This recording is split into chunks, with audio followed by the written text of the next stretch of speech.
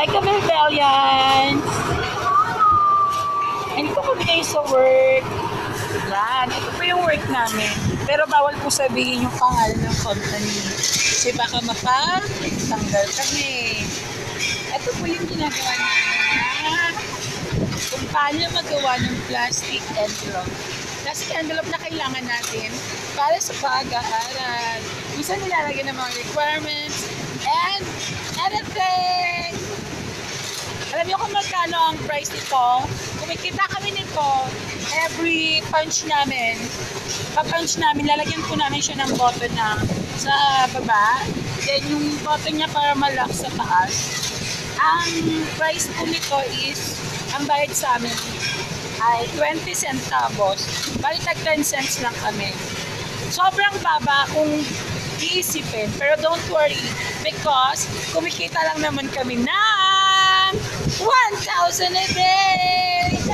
Yon ay kung maraming gawa, syempre. Piece rate po kami nagtatrabaho dito. And yun nga, tsambahan lang kung maganda yung labas ng makina. Then, kung marami kaming magagawa at kung may rolyo pa kami, makakarami po kami ng kita. But, kapag nasira yung makina na nagpo-provide sa amin ng plastic na to, ang gagawin po namin, uuwi rin po kami. So, wala po kami kikitain sa araw na yon kung sakaling sira po yung makina namin. Pero everyday naman po, kapag maganda yung takbo ng makina, then sinisipag kami, mga Belbelians, kikita naman po kami ng 1,000 a day. But, dahil maraming kumukontra sa amin kasi ba't ang laki-laki daw ng sahod namin kumpara sa kanila. Eh kasi, mababagal nga sila. Kami mga Belbelians, ay mabibilis. Ayun ang Belbelians na gumagawa na gawa namin.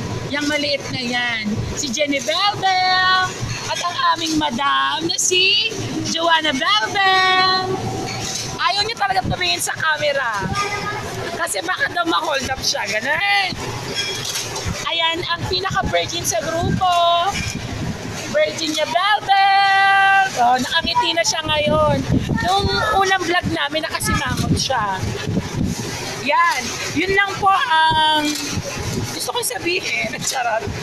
Next time po sa sunod na vlog, magbablog po ako. Gagawa pa ako ng content kasi napag-usapan namin mga Belbelian. Kasi nga, may sasakyan naman yung Madam Joanna Belbel namin. Napupunta kami ng Taytay. Gagawin namin ang challenge na bibili kami ng mga mabibili doon sa halagang 500 piso. 500 naman, bes. Kasi kapag 1,000, wala tayo noon, 500 lang. Kaya yun po, abangan nyo po yung vlog namin pagpunta namin Tagaytay. Nakasakay kami sa pangmayamang sasakyan. Sponsor by Madam Joanna May. Tsaka hindi namin pera yun na. Gagastusin namin yung pera ng Madam Joanna namin. Kaya napakasaya namin. Kasi yun daw ang Christmas gift niya sa amin. Charot. Baka sakalin ako niya mamaya kapag napanood niya tong vlog.